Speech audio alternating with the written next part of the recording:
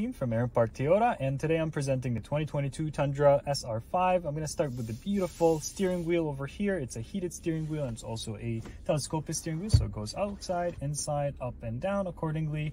You can adjust it as you prefer. On the steering wheel you're going to see all kinds of buttons. The left hand side over here will be your multi-information display control and the right hand side will be your dynamic radar cruise control.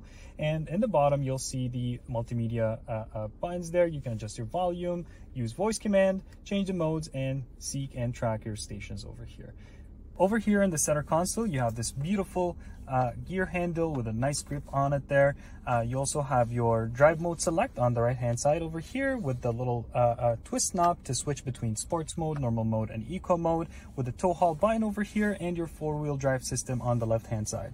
Now, other than that, you also have your uh, automatic emergency brakes, uh, which will engage if you put on park and disengage when you put it on drive. And you can also manually do it yourself by pulling on the handle or push on the uh, button here to engage it again.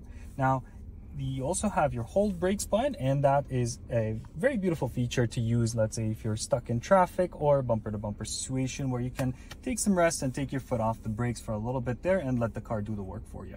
Now other than that there's lots of space in the middle here. There's a phone stand that you can place your phone in lots of space to put your keys and your personal stuff over here two cup holders and also more space inside the center console here